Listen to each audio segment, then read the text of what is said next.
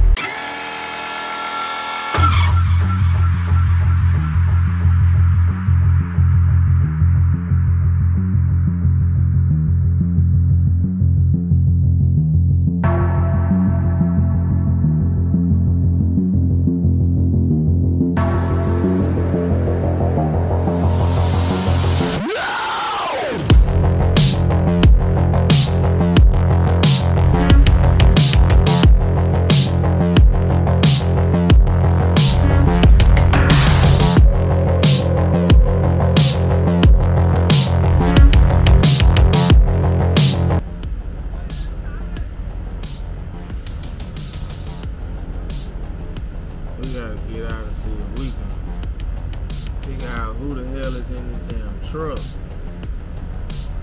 Cause he causing a whole bunch of confusion. Throw on my slide. See if we can figure out what the hell is going on out here with this damn May trucking.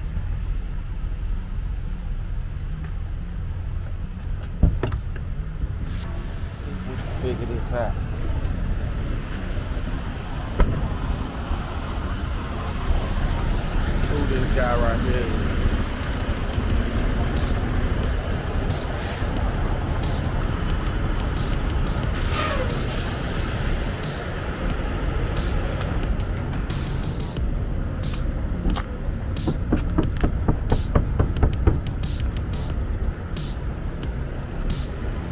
Hey man, you holding up a lot of traffic out here, bro. I can't move, bro. I'm on, I'm on DLC block. I can't move until I park here. I'm moving in 40 minutes. I can't move.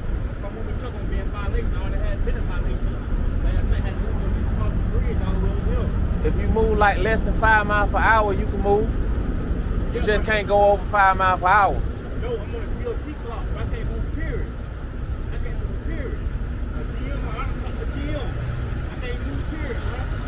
Use person for things. Come on, I got 40, uh, 40, 35 more minutes, huh? I All can't move. I already told her to do it earlier, bro. I got you. I can't do that, bro. All right. Because if I do anything, then my job on the. Yeah, everybody keep about to hit my truck there. And they got to deal with it, bro. Because if I, if I move, my job on the line. I got you. I got you.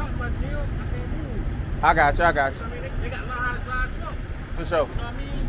All right. Yeah, bro. For sure. So as y'all heard, he can't move his truck. So he'll be in DOT violation. So hey, sometimes I understand that. I don't know why they got these stupid restrictions in place anyway. He used all his personal conveyance and now he had to park. He been in violation once before. Sometimes they always tell you, I ain't gonna say sometimes, they always tell you, hey, you need to uh pre-plan and all this kind of stuff, but sometimes you just can't pre-plan for some of these accidents and and things that go on on the highway and especially up here in Atlanta. Oh man, it's it's, it's horrible. I know I always say that in every video. These roads, man, it's DOT needs to change these restrictions that they have on us drivers. It's already not enough parking out here. There ain't nowhere to park it. And it's just and then you only got so much time you can drive. And then they tell you, oh well if you get in violation again, then you risk the the you run the risk of uh, losing your job. You know what I'm saying? So a lot of these guys they just have to pull over wherever they at. And then they'll give you a ticket if you pull over on the side of the road or something like that. It, it, it makes no sense. It makes no sense. You say that my truck can't move after I go past a certain amount of hours. But then if I pull over on the side of the road, you tell me I'm in violation of that and that I don't supposed to be sitting on the side of the road. I mean, at that point, I don't know what you want me to do. You know what I'm saying? Or what you want us to do. You know, it makes no sense. I know a lot of you guys are frustrated and, and been through some of these things, you know what I'm saying? I mean, all these guys, he holding up everybody. They almost about to hit my truck. So that's the reason why I got out and had to say something or whatever. You know what I'm saying? And I'm thinking about moving, but it ain't nowhere to park at. So I hope one of these guys don't wind up hitting my truck, man. They need to learn. Say he got like 40 more minutes on his clock before he can move. So hopefully he can get the hell on up out of the way. So like I said, he don't run the risk of hitting my truck. Nobody don't run the risk of hitting my truck. You know, these guys hit drag their trailer across the front of your truck and won't even give a damn.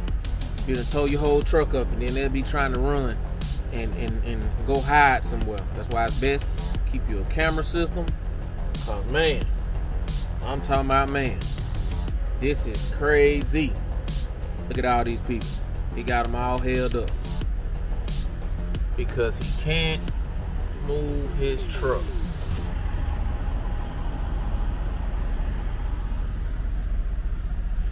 Because he can't move his truck.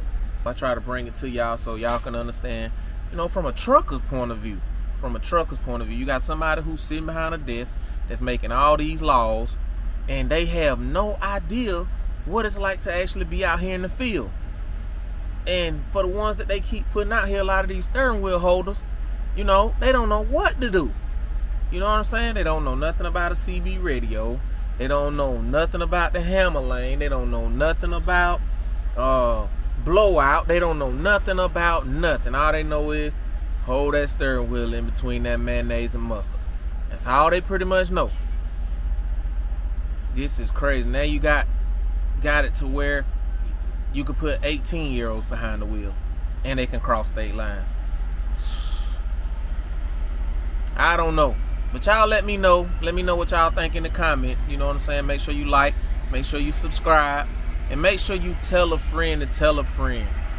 Runaway child, and we are out. No!